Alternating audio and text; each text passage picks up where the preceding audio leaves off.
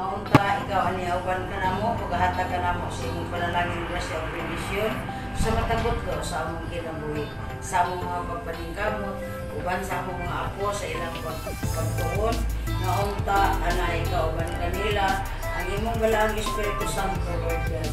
Ipa, ipa, ipadanag sa ilang salabutan. Hatag mo sila dugang kaalam, kagaloob at inuman. Ginoo, kining grasya nga karon among pagadawaton, sulod sa usa ka tuig ng mga pagpaningkamot, among gisalig kanimo ang tanan Lord God.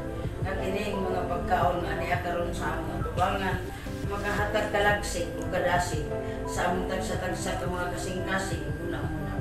Anaa kami kanunay sa kapasko, kapis kay sa among lawas, pinaagi sa imong panalangin o grasya. Wala kami mahimo Lord God kung ikaw sa among kinabuhi, sa among biliran, sa among tagsa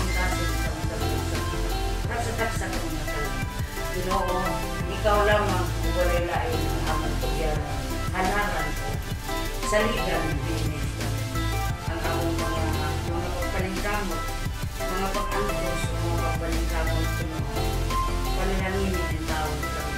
Manalipin ang kami sa mga kadautan, sa mga katalagman, sa mga disgrasya, mga virtudes ng kadautan, sa mga trahedya sa kalibutan, labi na ng epidemya, sa COVID-19, panan, pandungi kami,